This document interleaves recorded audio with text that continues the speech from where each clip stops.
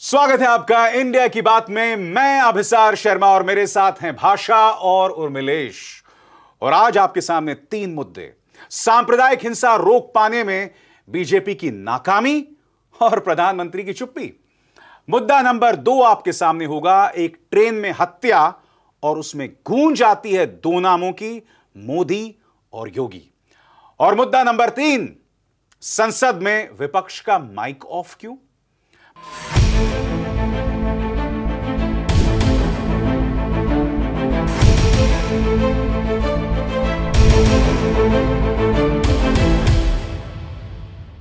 शुरुआत करना चाहेंगे हम पहले मुद्दे से। जैसे कि आप जानते हैं, हरियाणा के नूह में सांप्रदायिक हिंसा होती है, टकराव होती है। कम से कम आधा दर्जन लोग मारे जाते हैं। जब मुख्यमंत्री मनोहर लाल खट्टर से पूछा जाता है कि आप नाकाम क्यों हैं तो कहते हैं कि पुलिस हर जगह नहीं पहुँच सकती है।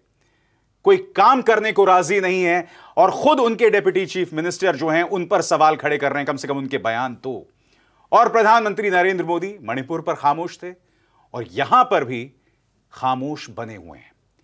क्या है इस मुद्दे का पंच? शुरुआत करते हैं भाषा के साथ। अभी सर, मेरा मानना है कि वो विफल नहीं, वो सफल हैं, क्योंकि उनका मकसद है नफरत फैलाना, इस तरह की सांप्रदायिक तनाव फैलाना, और यह ऊपर से लेकर नीचे तक आ रहा है। शायद यही वजह है कि तमाम सांप्रदायिक तनाव और हिंसा के मामलों में प्रधानमंत्री नरेंद्र मोदी चुप चुप और चुप रहते हैं। अभिसार क्या है इस पे आपका पंच? प्रधानमंत्री नरेंद्र मोदी चुप चुप चुप और चुप रहते हैं, मगर सीकर में बहुत बोलते हैं, महाराष्ट्र में बहुत बोलते हैं। अरे, कम से कम अब तो बोल दीजिए। गुरुग्राम तक में हिंसा हो रही है, जो कि इस देश का आईटी हब माना जाता है। देश आखिर कितना बदनाम होगा? क्या है इस मुद्दे का पंच? बताएँ उर्मिलेश। देखिए, अभिसार, सांप्रदायिकता भारतीय जनता पार्टी की राजनीति का अविभाज्य हिस्सा है। और इस बार 2024 के चुनाव का तो वो एजेंडा बनकर ही रहेगा। दो दशमलव सात करोड़ लोगों के घर घर में पुलिस सुरक्षा नहीं दे सकता, ऐसा बोलते हैं माननीय मनोहरलाल खट्टर। मगर इनकी खटारा नीतियों को एक्सपोज इनके अपने मंत्री कर रहे हैं, इनके अपने सांसद कह रहे हैं कि भाई ये जो यात्रा गई, सबसे बड़ी बात, जब इतनी संवेदनशील यात्रा जा रही है तो आपको समुदायों के बीच संवाद कराना चाहिए। माना आप सबको सुरक्षा नहीं दे सकते मगर कम से कम जिस यात्रा जिस रूट से गुजर रही है उसको लेकर थोड़ा सैनिटाइज करना था खुद दुष्यंत चौटाला कह रहे हैं भाई हथियार कैसे आए इनके पास नहीं और और अभिसार ये सारी बातें तो खट्टर जी ऐसे कह रहे हैं जैसे उनको पता ही नहीं था कि यात्रा जा रही है मैं तो हम्म। यहाँ ये कहना चाहूँगी सारे दर्शक सारी देश और दुनिया जानती है कि इसे लेकर बिट्टू बजरंगी हो या मोनू मानेसर हम्म। एक हफ़्ता पहले से वो सोशल मीडिया पर अपने वीडियो डाल रहे हैं वीडियो। और बकायदा उकसाने वाले बयान दे रहे हैं कि हम इस रूट से जाएँगे। आरोपी तो, हैं हत्यारे। और हत्यारे आरोपी में हाँ, हत्या में हाँ, आरोपी हैं। हत्या में आरोपी हैं और बिट्टू बजरंगी की जो भाषा है उस हिसाब से तो उसकी तुरंत गिरफ्तारी होनी चाहिए जहाँ वो कह रहे हैं कि हम आ रहे हैं तुम हमारा स्वागत करने आओ हम चैलेंज करते हुए आ रहे हैं। यानी हम्म। आप प्रोवोक कर रहे हैं। यहाँ बात बात पे लोगों के खिलाफ मुकदमे होते हैं हम्म। उनकी गिरफ्तारी होती है। यहाँ मोनू माने सर बयान जारी कर रहा है। मतलब अब सोचिए ना हम्म। ये खट्टर जी का इंटेलिजेंस है। कि उनको पता ही नहीं चला कि मोनू माने सर कह रहा है कि मैं खुद मौजूद रहूँगा हम्म। आप बड़ी संख्या में आओ। खट्टर हम्म। जी ये सब झूठ चल नहीं पाएगा आपका। उर्मिलेश जी इस देश में पिछले कुछ अरसे से हम देख रहे हैं कि इसका जो शहरी मतदाता है वो कॉम्प्लिसिट रहा है बिगेटरी में नफरत में उसको वो बढ़ावा भी देता है मगर अब तो गुरुग्राम के आईटी हब में पहुँच गई है। शहरों के दरवाजे में आपकी सोसाइटीज के दरवाजे पर यह हिंसा पहुँच गई। आपने घरों से आप देख रहे हैं आग लगते हुए। मगर क्या इनकी सोच पर कोई असर पड़ेगा? देखिए ये जो आपका सवाल है मैं समझता हूँ कि अगर आप गुड़गांव में आ, मैं उसको गुड़गांव ही अभी भी कहता हूँ मुझे हम्म। मेरे मुँह पे ज़ुबान पे चढ़ा हुआ है। आ, अगर वहाँ के लोगों से बात कीजिए जो काम करने वाले लोग हैं मैं जहाँ रहता हूँ वहाँ पर गुड़गांव में काम करने वाले बहुत सारे लड़के हैं हम्म। उनके माता पिता लोगों से भी मेरा परिचय है बातचीत होती है पार्क में वॉक करते समय और मैंने पाया है कि वे लोग बेहद परेशान हैं इस बार। इसलिए नहीं परेशान केवल हैं कि ये सब हो रहा है ठीक है? उनकी उतनी सामाजिकता नहीं है इतनी राजनीतिक समझ उनकी नहीं है। अब तक वो भक्त ही थे या भक्त अगर नहीं थे तो समर्थक थे। लेकिन उनको अपने बच्चों की परवाह है उनकी नौकरियों की परवाह है उनको ये परवाह है कि रात को सोते समय मान लीजिए उनका लड़का किराए के मकान में कहीं रह रहा है वहाँ और अचानक आग लग जाए क्या होगा? क्योंकि जिस तरह से उन्होंने आगजनी देखी है गुड़गांव के उस इलाके में वो हैरत अंगेज है। और उनके बच्चों ने ये बात बताई है कि कैसे कैसे क्या क्या हुआ है आकर। तो ये जो गुड़गांव की घटना है मैं समझता हूँ कि आँख खोलने वाली है। दूसरी बात जो यात्रा के कॉन्टेक्स्ट में मैं कहूँगा देखिए मेरा बेसिक सवाल एक है कि ये यात्रा निकाली ही क्यों गई? क्यों यात्राएँ निकाली जाती हैं? जनरली दुनिया भर में यात्राएँ तीन चार कारणों से होती हैं। एक तो खोज यात्रा जैसे कोलंबस की यात्रा। बाद में भी बहुत लोग करते हैं। हम लोग भी जाते हैं। ज्ञान यात्रा होती है कि भाई पहाड़ देखा जाए पहाड़ के बारे में समझा जाए वनस्पतियों के बारे में दुनिया के बारे में। दूसरी एक यात्रा होती है कि मज़े की यात्रा जॉय जैसे बहुत सारे लोग हैं अपनी मोटरसाइकिल लेकर लद्दाख की तरफ़ निकल पड़ते हैं। मज़ा है। नौजवान लोग जाते हैं। तीसरी एक यात्रा होती है जो बहुत गाँव के कस्बे के शहर के बुज़ुर्ग लोग जाते ठीक हैं। धर्म यात्रा।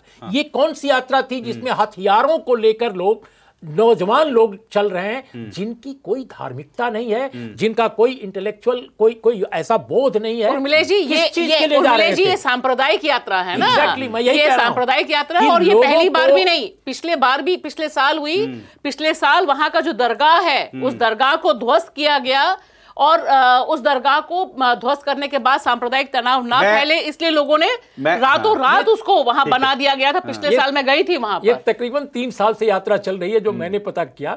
और इसमें ये बताइए कि मेवात के इस इलाके में यात्रा निकालने की ज़रूरत ही क्या है भाई? हम तो यानी कि हैं। भड़काना प्रोवोक करना। Provoke करना। मगर मैं एक चीज़ यहाँ पर और रखना चाहता हूँ कि जी ट्वेंटी को लेकर आप सम्मेलन करने वाले हैं। हाँ यही नहीं। इसी साल वर्ल्ड कप का आयोजन वर्ल्ड क्रिकेट कप का आयोजन होने वाला है भारत के अंदर। मैं ये समझना चाहता हूँ इन लोगों से खासकर इस सरकार की निरंकुशता से जो सरकार पूरी तरह से कुंभकर्णी नींद सो रही है। आप दुनिया के सामने किस तरह का शोकेस कर रहे हैं? और आप देखिए, हाँ, नहीं दुनिया के सामने हाँ, हाँ। G twenty world cup cricket और इतना हिंसा ये हिंसा आप शोकेस कर रहे हैं? और मुझे लगता है हिंसा शोकेस तो कर रहे हैं।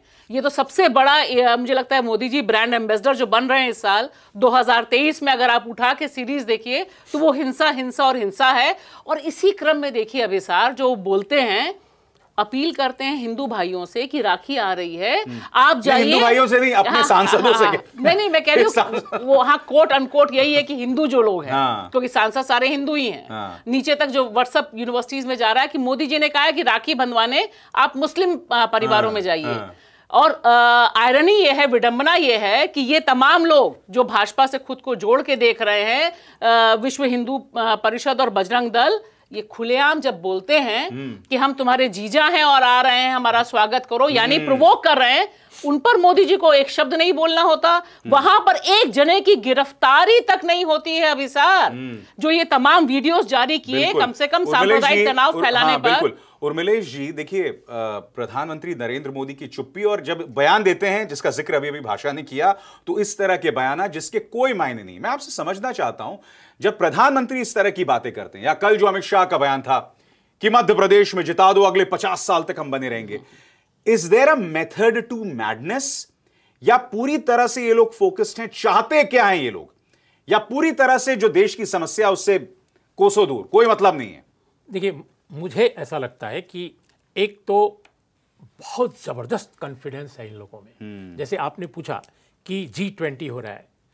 इसके पहले ये सब मान लीजिए जी ट्वेंटी के सारे के सारे जो राष्ट्राध्यक्ष हैं बाहर से आने वाले वो आ गए हों और कार्यक्रम चल रहा हो उसी समय कुछ हो जाए तो ये भारत में पहली बार ऐसा नहीं है। आपको याद होगा दिल्ली का दंगा कब हुआ था? जब अमेरिकन। प्रेसिडेंट ट्रंप आने वाले हाँ, थे। ट्रंप ट्रंप यहाँ पर आने वाले थे उसके कुछ ही घंटे पहले। अब सवाल इस बात का है कि इसके बाद भी मैं मैं एक चीज़ एक चीज़ बता दूँ अपने दर्शकों को। हालाँकि दर्शक जानते होंगे और आप भी जानते होंगे कि उस वक्त भू मत भूलिए कपिल मिश्रा पुलिस की मौजूदगी में कह रहा था कि अभी तो ट्रंप है हम वापस जा रहे हैं। मगर कल तो पुलिस भी हमें नहीं रोक पाएगी। वो आदमी जिसे जेल में होना चाहिए, वो इस तरह की धमकी दे रहा तो इसका मतलब यह है विसार कि ये ओवर कॉन्फिडेंट हैं कि हम कुछ भी हो जाए इस समाज में, हम उसको समायोजित कर लेंगे, उसको मैनेज कर लेंगे क्योंकि इनके पास ताकत है। और वो ताकत कहाँ से आई है? ताकत आई है कारपोरेट से ताकत आई है मीडिया से मेन स्ट्रीम मीडिया से खासकर टीवी पुरम से। पूरे देश में गाँव गाँव कस्बे कस्बे अपनी बात कहते हैं कहलाते हैं उसको स्थापित करते हैं एंकरों के ज़रिए। और कोई ऐसा नहीं है कि कहीं डिसेंट की कोई जगह हो कोई ऐसी आवाज़ हो जो कहे कि नहीं ये गलत हो रहा है मीडिया में तो ये एक बहुत बड़ा उनके लिए एक सहारा है। भाषा मैं आपसे समझना चाहता हूँ देखिए प्रधानमंत्री की चुप्पी तो हमें दिखाई देती है मणिपुर में भी चुप रहते हैं यहाँ पर भी चुप हैं। मगर क्या इस चुप्पी के पीछे वो राजनीतिक सोच है कि इसे होने दीजिए पोलराइजेशन होते रहने दीजिए होते रहने दीजिए इस बात की परवाह भी नहीं है कि आप क्या कर रहे हैं जैसे मैंने ज़िक्र किया वर्ल्ड कप होना है ये तमाम चीज़ें इनको परवाह ही नहीं है। क्योंकि देखिए मुझे लगता है कि दो स्तरों पे मोदी सरकार काम कर रही है जो उन्होंने साबित भी किया है। जब अमेरिका जाते हैं तब भी उनके अपने मुख्यमंत्री बात करते हैं ओबामा को निशाने पे लेते हैं और इस्लामोफोबिक कमेंट करते हैं। और उनको लगता है कि मैनेज हो जाता है विश्व गुरु की छवि पर। हम और आप डिस्कस करते हैं लेकिन उनके जो भक्तगण हैं वो बहुत प्रसन्न रहते हैं। और यहाँ मुझे अभिसार लग रहा है कि इन्होंने पूरी रणनीति 2024 तक की जो बनाई है उसमें इस तरह का ध्रुवीकरण। ये जो नौजवान निकले हैं जिनको आपने हथियार दिए हैं ये नौजवान मणिपुर के नौजवानों से अलग नहीं है जिनके पास ऑटोमेटिक राइफल्स और गन्स हैं आर्मर्ड वेपन्स हैं। यानी वो तैयार कर रहे हैं कि अगर हम सरकार में नहीं आ पाए कुछ गड़बड़ी हो गई ये जो सेना तैयार हो रही है नफरती सेना और इस नफरत की कोई सीमा नहीं है अभिसार क्योंकि देखिए देश की राजधानी दिल्ली के 20 किलोमीटर दूर ये आग लगी। 20 से 25 किलोमीटर है बस आप क्रॉस करिए एयरपोर्ट और गुड़गांव आता है। यानी ये चाहते हैं कि इस तरह से ध्रुवीकरण हो और इसका काउंटर जो एक खाली हुआ है वो जाटों ने किया है। है। जाट किसान हरियाणा की खाप पंचायतों ने कहा है कि भाई हमें ये हिंसा नहीं चाहिए हम अमन चाहते चलिए और और इसी इसी पोलराइजेशन का दोस्तों असर ये दिखाई देता है कि मुंबई जयपुर ट्रेन में गोलीबारी होती है, एक आरपीएफ का कांस्टेबल चार लोगों की हत्या कर देता है। हत्या करता है, उसके कदमों में एक आदमी की लाश थी, वो आदमी तब भी ज़िंदा था और वो ये कहता है कि इस देश में वोट देना है, इस देश में रहना है तो मोदी योगी हैं। उस खबर को मुख्यधारा की मीडिया ने तो दबा दिया, मगर ये बतला रहा है कि मीडिया ने क्या काम कर दिया और काम कर गया है इस देश का नफरती मीडिया। क्या है इस मुद्दे का पंच? बताएँगे उर्मिलेश। देखिए मुझे ऐसा लगता है कि ये जो समाज के अंदर इस तरह के जो नफरती तत्व पैदा हुए हैं वो बहुत बड़ी संख्या में हुए हैं और हम हर उम्र के हुए हैं। तो ये एक तरह के जॉम्बी हैं जो घूम रहे हैं चारों तरफ़। कब क्या कर दें कोई ठिकाना नहीं। भाषा क्या है इस मुद्दे का पंच? देखिए, जिस नफरत को चारों तरफ़ से फैलाया जा रहा है, इसको पल्लवित, पुष्पित किया जा रहा है, उसमें इस तरह के जिन बाहर आना और इन जिनों का खून का प्यासा होना टारगेटेड हिंसा है ये। और इस पर जिस तरह की कवर अप है, जिस तरह से इस पर पूरी पुताई की जा रही है कि नहीं, उसका दिमाग खराब था, ये था, वो था, वो और ज़्यादा खतरनाक है क्योंकि उसमें मीडिया दूसरे ढंग से खेल खेल रहा है। अब इसार क्या है इस पर आपका पंच? इस मुद्दे पर मेरा पंच यह है कि ब्रेन वॉश जनता की सोच जो है, वो एक मानव बॉम्ब जैसी हो गई है और एक पूरी की पूरी पीढ़ी मीडिया बर्बाद कर चुका है। दिलचस्प बात यहाँ पर यह है उर्मिलेश जी, कि मीडिया ने इसकी चर्चा नहीं की और जब चर्चा की तो ये कह रहे थे कि बेवजह इसे सांप्रदायिक रंग दिया जा रहा था। इत्तेफाकन ये वही एंकर है जो दंगाइयों के लिए परमानेंट सॉल्यूशन फाइनल सॉल्यूशन की बात करता है, जिस तरह की शब्दावली नाजी इस्तेमाल करते थे यहूदियों के लिए वर्ल्ड वॉर टू के लिए। जबकि सब जानते हैं कि वो आदमी जिस तरह से बोल रहा था। मैं कहता हूँ, अगर वो मानसिक तौर पर भी, अगर विक्षिप्त था मेंटली बीमार था तो ये जो मेंटली बीमार हैं, वो उन दो राजनीतिक नामों से क्यों आकृष्ट हुए? देखिए, पहली बात तो यह है कि जो नफरती किस्म के लोग होते हैं वह भी एक मानसिक बीमारी ही है। कोई एक नॉर्मल ह्यूमन बींग इतनी घृणा का पुतला नहीं बन सकता है जो अपने देश में जो कम्युनल एलिमेंट्स हैं जिनके अंदर नफरत भरी हुई है वो उनको कहा जाए कि वो नॉर्मल लोग हैं। वो नॉर्मल नहीं हैं एब नॉर्मल हैं। लेकिन जो रोग के तौर पे पागल जिनको आप कहते हैं वो ये नहीं है। ये रोग के तौर पे पागल नहीं है। ये ये केवल अपनी वैचारिकी में पागल हैं। तो मैं जो वो जो चेतन सिंह नाम का आदमी है ये केवल एक इंडिविजुअल नहीं है। आरपीएफ में वो था उसके पास गन थी वो ड्यूटी पर था। अगर ऐसा कुछ होता कि वो मानसिक रूप से विक्षिप्त है तो उसको ड्यूटी पर लगाया ही नहीं गया होता। इतनी इतनी गैर ज़िम्मेदारी अभी भी नहीं है शासन प्रशासन में। इसका मतलब कि वो नफरती था और कोई ना कोई आर्गुमेंट हुआ था मिस्टर मीणा से जो अब नहीं है इस दुनिया में जो बता सकें कि आखिर उस समय सुबह सुबह हुआ क्या था? लेकिन वो ज़रूर प्रवोक हुआ था और वो पूरे अपने विस्फोट एक तरह से क्या कहेंगे उसके अंदर विस्फोट हुआ। सबसे पहले उसने मिस्टर मीणा को मारा मारा जो उसके बॉस थे इमीडिएट बॉस और उनको मारने के बाद वो आगे बढ़ा है कई कोचेज में और खोज खोज कर उन लोगों को मारा है जिनको दाढ़ी है या जिनको टोपी है। इस तरह से उसने किया है तो इसका मतलब कि उस और जो डायलॉग उसने मारा है जिसको आपने अभी अभी सुनाया तो अंग्रेज़ी के अखबारों में छपा है हिंदी के अखबार खामोश रहे आमतौर पे। ठीक है। तो तो इसका मतलब है कि ये जो लोग हैं वे कहीं न कहीं जो व्हाट्सएप यूनिवर्सिटी है टीवी पुरम है इनके बनाए कि गोदी मीडिया के नफरत का शिकार भाषा मैं आपसे यह जानना चाहता हूँ। इसमें पिछले कुछ दिनों से हम देख रहे हैं लगातार कि इस देश के एक सबसे धनी व्यक्ति मुकेश अंबानी का न्यूज़ चैनल, वो मुकेश अंबानी जिन्हें इतना प्यार दिया इस देश की जनता ने, और उनके कम से कम दो ऐसे एंकर्स हैं जो जहर उगल रहे हैं। नफरती घटनाओं को जायज़ करने के जो हैं, वो ज़रिए बनाते हैं, वजह बनाते हैं। मैं आपसे समझना चाहता हूँ कि किसी मुकेश अंबानी की क्या मजबूरी हो सकती है इस हेट का समर्थन करने के लिए, खासकर जबकि हम देख रहे हैं उसका एक परिणाम है। जी। उसकी मजबूरी सबसे बड़ी है कि पॉलिटिकल मास्टर को खुश करना, क्योंकि ये जितनी नफरत हमें दिखाई दे रही है, ये जो ट्रेन में नफरत हुई है ट्रेन में जो हिंसा हुई है ट्रेन में जो चुनी चुन चुन के मारा गया है। मुझे लगता है कि ये एक पराकाष्ठा है। लेकिन ये शख्स वो शख्स भी हो सकता है जो गुड़गांव में घूम रहा था और देख रहा था कि कहाँ पर मुस्लिम नाम के दुकानें हैं उनको टारगेट किया जाए। इस व्यक्ति में और उस व्यक्ति में कोई फ़र्क मुझे नहीं लगता है। नहीं यही नहीं भाषा एक और चीज़ एक और चीज़ मैं आपको मैं रोक रहा हूँ यहाँ। यही नहीं आपने कहा कि जो ढूंढ ढूंढ कर कर रहा है मैं तो एक कदम और आगे जाऊँगा।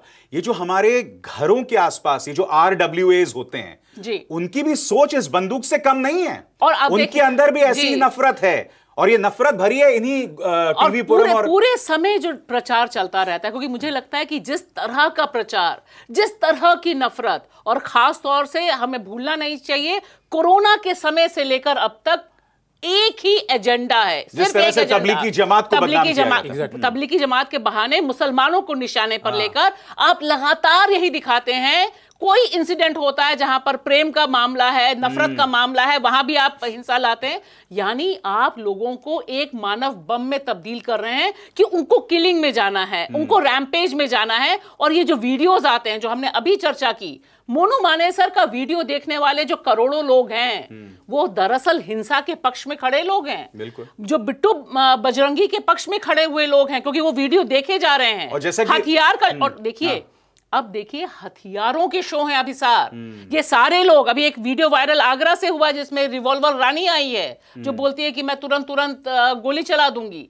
ये सारा जो एक पिस्तौल का हथियारों का इस्तेमाल दिखाया जा रहा है कि आपको करना है। यानी कि एक बिल्कुल यानी कि एक जैसे मैंने कहा अपने पंच में कि एक पूरी पीढ़ी को बर्बाद कर दिया गया है। अब मुझे कम से कम कोई उम्मीद नहीं दिखाई देती मगर मैं आपसे एक और सवाल पूछना चाहता हूँ उर्मिलेश जी। मैं देख रहा था, अखिलेश यादव एक ऐसे न्यूज़ चैनल में जाकर बैठकर इंटरव्यू दे रहे थे, जो खुलेआम कह रहे थे कि हम तो मोदी और योगी की सेवा करेंगे। हम्म? जयराम रमेश एएनआई को देकर इंटरव्यू देते हैं और मुझे पता चला है कि उनसे पूछा गया था कि भाई, इन नफरती एंकर्स के कार्यक्रम में क्यों भेजते हैं? तो उन्होंने ये तक कहा, नहीं साहब, हम हम में और उन कट्टर सोच वालों में कुछ तो फ़र्क होना चाहिए। यानी कि नफरत की दुकानें आप चलाएँ। यह भी खबर आ रही है कि किस तरह से भूपेश बघेल इसी मुकेश अंबानी के न्यूज़ चैनल के एक कार्यक्रम में जाने वाले हैं। अ, मदद भी की जा रही है छत्तीसगढ़ सरकार की तरफ़ से। तो एक तरफ़ तो राहुल गांधी कहते हैं साहब मोहब्बत की दुकान नफरत के खिलाफ। और दूसरी तरफ़ आप ही के अपने पार्टी के लोग इस नफरत को स्पॉन्सर करते हैं। ये दोहरे मापदंड नहीं है। देखिए मैं आपको एक बात बताऊँ अभिसार कि ये जितने लोग हैं जितनी जितने चैनलों में आपको पुतले दिखाई दे रहे हैं दरअसल ये वही लोग हैं जो कांग्रेस की जब सरकार थी तो भी थे। और अच्छे अच्छे पदों पर थे। उन्हीं के नेतृत्व में आज टीवी पुरम क्रिएट हुआ है। ऐसा नहीं है कि टीवी पुरम ऑल ऑफ़ सडन आया है। उस समय भी इनकी सैलरीज इनकी इनके ओहदे काफ़ी ठीक ठाक थे तो कहीं ना कहीं हमारे समाज में जो राजनीतिक दलों के अंदर लोग हैं वो लोग एडजस्ट कर लेते हैं इन चीज़ों से। आप और हम या बहुत सारे लोग जो हैं वो भले इससे एडजस्ट ना करें उनको लगे कि नहीं मीडिया बेहतर होना चाहिए यूरोप के मीडिया की तरह होना चाहिए। हालाँकि यूरोप के मीडिया में भी कोई हमारा आदर्श नहीं है लेकिन भारत जैसे एक विविधता भरे समाज में मीडिया का जो रोल है मीडिया हम हम एक ऐसे समाज हैं जो बहुत डेवलप नहीं है। इंफॉर्मेशन चाहिए लोगों को नॉलेज चाहिए एक इम्पावर्ड सोसाइटी चाहिए नॉलेज से। हम उसको बनाने में कभी गंभीरता नहीं रही है। अंग्रेज़ी के कुछ एक अखबार अगर छोड़ दिया जाए या हमारी जो वेबसाइटें हैं जो प्रयास कर रही हैं लिमिटेड रिसोर्सेज के भी के बीच में अगर आप देखें बड़े पैमाने पर अखबारों में अखबार चैनलों में तो इसके लिए कोई प्रयास नहीं है। और सरकारों की दरअसल चाहे कोई भी सरकार आगे रही हो या पीछे रही हो उनकी कोई मीडिया पॉलिसी क्लियर कट है नहीं। और मुझे लगता है कि अभिसार इसमें एक पॉलिटिकल स्टैंड लेने की ज़रूरत है। और अगर विपक्ष ने ये पॉलिटिकल स्टैंड अभी नहीं लिया उन्हें सीखना चाहिए किसानों से। किसानों ने कहा कि हमें गोदी मीडिया नहीं चाहिए। गो बैक गोदी मीडिया हम अपने हिसाब से तय करेंगे किसको हम इंटरव्यू अच्छा, दें।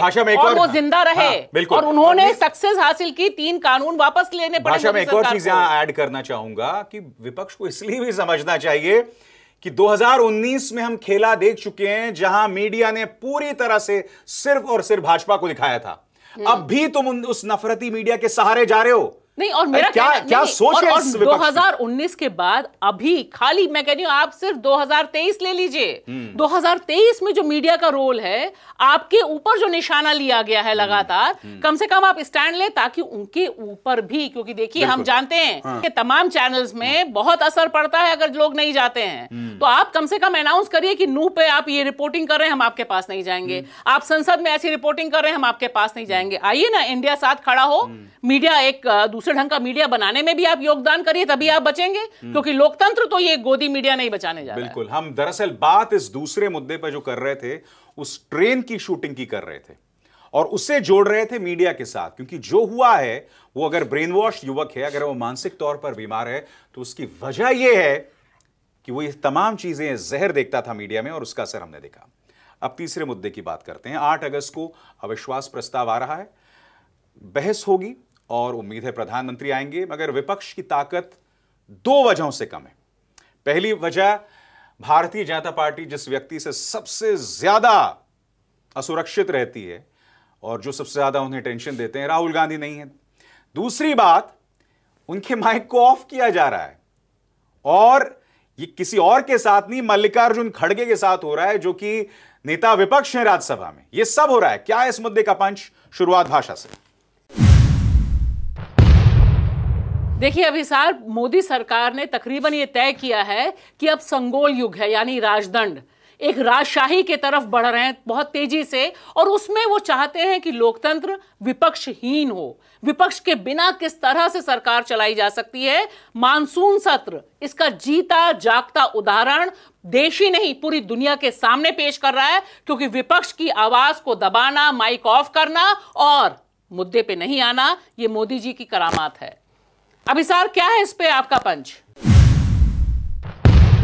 इस मुद्दे पर मेरा पंच यह है कि खुलेआम विपक्ष जो है, राज्यसभा के सभापति जगदीप धनखड़ और लोकसभा के स्पीकर ओम बिरला के खिलाफ बयान दे रहे हैं। और ओम बिरला के लिए, जी, मैं सिर्फ़ इतना कह सकता हूँ कि आपको भूल जाना चाहिए कि अब आप आरएसएस की वो हाफ़ पैंट नहीं पहने हुए हैं। आप एक सम्मानित पद पर हैं, लोकसभा अध्यक्ष हैं। क्या है इस मुद्दे का पंच? बताएँगे उर्मिलेश। देखिए, मुझे ऐसा लगता है कि अविश्वास प्रस्ताव का जो हस्र है, उसका जो नतीजा है, ये तो सबको मालूम है, क्योंकि प्रचंड बहुमत है भारतीय जनता पार्टी लेड गठबंधन को, लेकिन जो रोकने की बात जो आप कह रहे हैं, वो इसलिए शायद है कि डिस्कोर्स जो, एक जो चर्चा, एक जो विमर्श जो है बहस का जो निचोड़ है, वो देश की जनता में न जाए, ये इसकी कोशिश है। भाषा, आपको क्या लगता है? ये जो अविश्वास प्रस्ताव पर बहस होगी, खासकर मीडिया इसे जिस तरह से ट्विस्ट देगा और राहुल गांधी की गैर मौजूदगी, क्या आपको लगता है ये पूरा जो अविश्वास प्रस्ताव की प्रक्रिया, वो प्रधानमंत्री नरेंद्र मोदी के महिमा मंडन का ज़रिया बन जाएगा? मीडिया फिर कहेगा देखो क्या मुँह तोड़ जवाब दिया और वो फिर ऐसे करेंगे ऐसे ऐसे जैसे पिछली बार की हाँ। एक अकेला सब पे सब पे भारी भारी। तो आपको लग रहा है वही होने वाला है लेकिन? देखिए इस बार थोड़ी सी तस्वीर दूसरी है क्योंकि इस बार वो बाध्य हो रहे हैं पहली बार मजबूर हो रहे हैं हम्म। और ये अविश्वास प्रस्ताव जिस तरह से विपक्ष लाया है उसका सिर्फ़ और सिर्फ़ एक मकसद है मोदी जी सदन के भीतर आइए हम्म। जवाब दीजिए क्योंकि देश आपको सुनना चाहता है। तो यहाँ जो इंडिया ने ये पहलकदमी की है क्योंकि मोदी जी अभी तक सुनने को बात मोदी जी को का अहंकार है मैं नहीं मैं जवाब नहीं दूँगा हाँ। नहीं नहीं वो उनका अहंकार है कि भाई मैंने आपसे कहा ना कि मैं संगोल युग में प्रवेश कर चुका हम्म। हूँ मैं राजा हूँ मैं रेड कारपेट पे चलता हूँ तो आसपास जो लोग होते हैं हाँ। उनको भी किनारे कर देता हूँ तो वहाँ पर उनका अहंकार ये है कि मैं अरे आप मुझसे पूछ रहे हैं मैं कैसे जवाब दूँ मैं तो तब बोलूँगा जब मेरा मन हम्म। जब होगा मेरा मन तो। यहाँ पर विपक्ष का एक ये दांव तगड़ा हम्म, है कि आपने मजबूर किया मोदी जी को 2014 से लेकर अभी तक हम्म। पहली बार वो दबाव में आकर बयान देने के लिए है। खड़े हो गए उर्मिला जी मैं आपसे राज्यसभा के सभापति और लोकसभा के स्पीकर के बारे में सवाल पूछना चाहूँगा क्योंकि देखिए आपने राज्यसभा के काम करने के तरीके को बहुत करीब से देखा है मैं नहीं भूला हूँ, एक जमाना वो भी होता था, जब हामिद अंसारी भी जब कुछ करते थे तो अक्सर देखा करते थे ट्रेजरी बेंचेस की तरफ़ से। तो उन पर प्रभाव था, मगर ये तो हद ही हो गई है, बिल्कुल। ये हद ही हो गई है। मैं इन दोनों के किरदार पर आपसे चाहूँगा, आप इस रोशनी डालें, जो किरदार निभा रहे हैं, ओम बिरला साहब, या सबसे ज़्यादा जगदीप धनकर मतलब मल्लिकार्जुन खड़गे को बाहर आना पड़ा कि आप मेरा माइक ऑफ़ कर देते हैं।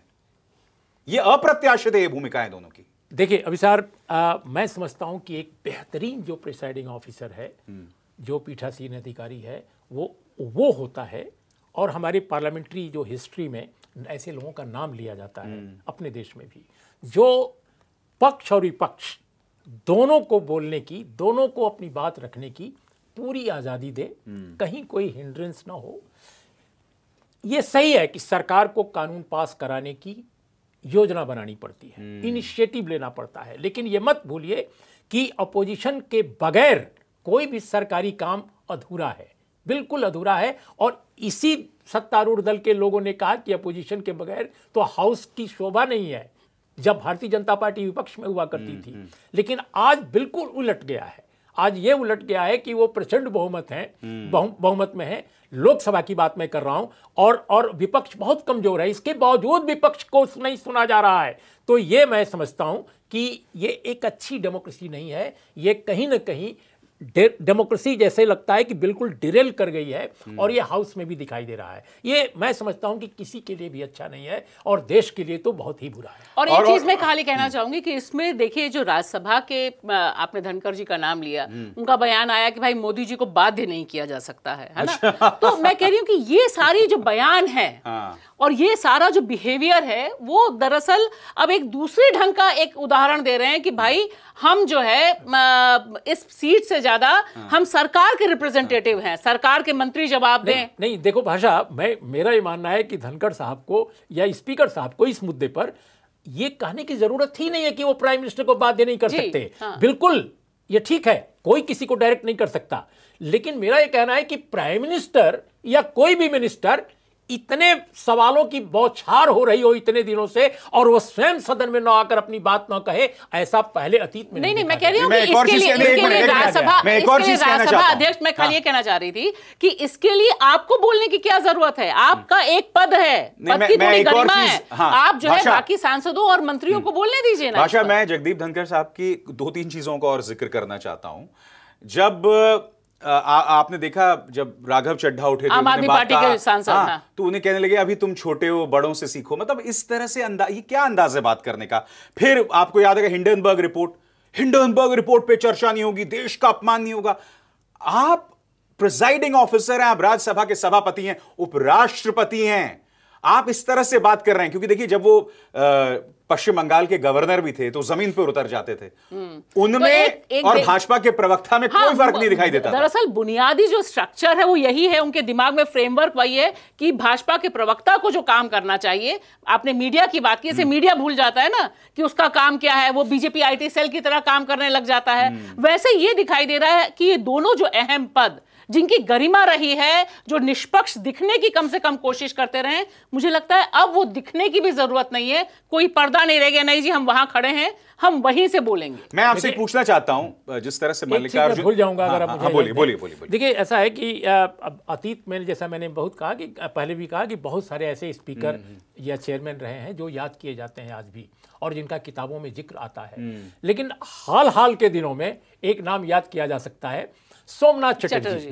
लोकसभा के अध्यक्ष हो बने। आपको मैं बताऊँ कि बहुत सारे वामपंथी दल हमारे देश में कई वामपंथी दल हैं जो हाउस में हैं। हाँ। सीपीआई है सीपीएम है आरएसपी है फॉरवर्ड ब्लॉक और उस टाइम तो बहुत ताकत थी बहुत ताकत थी। हम्म। और उस वो इन दलों के नेता भी नाराज़ हो जाते थे सोमनाथ दा की आ, कई रूलिंग से। हम्म। और उनके कई फैसलों से उनकी वो पार्टी जिसके वो निर्वाचित सांसद बनकर आए थे वो भी कई बार नाराज़ हुई। लेकिन उनको जो प्रतिष्ठा मिली और लेफ़्ट राइट सेंटर सबने हम्म। उनको जो प्रतिष्ठा दी वो मैं समझता हूँ कि हाल के वर्षों में वैसा बहुत कम देखा गया है हम्म। तो ये चीज़ ज़रूर देखी जानी चाहिए कि अगर आप न्यूट्रल एम्पायर हैं हाँ। तो आपको छोड़ना पड़ेगा कि आपकी भाषा आखिरी सवाल आखिरी सवाल जिस तरह से माइक ऑफ़ कर दिया जा रहा था वो तो ऑब्वियस था दिख रहा था इसके अलावा एक और वीडियो वायरल हो रहा था और राघव चड्ढा ने अपने ट्विटर टाइमलाइन पर डाला कि जैसे ही विपक्ष प्रदर्शन करता था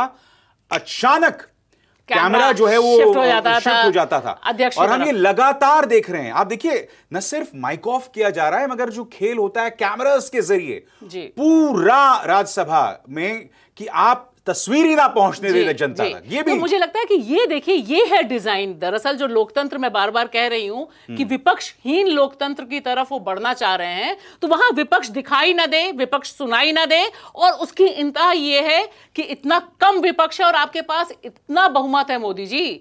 थोड़ा बहुत बाकी लोगों को भी फुटेज लेने दीजिए ताकि पता तो चले कि संसद में बाकी लोग हैं। लेकिन डर इतना ज़्यादा और असहमति का एक स्वर नहीं सुनना चाहते हैं अभी सारी। बिल्कुल। बहुत बहुत शुक्रिया, उर्मिलेश जी और भाषा, आप दोनों का इंडिया की बात में बस इतना ही।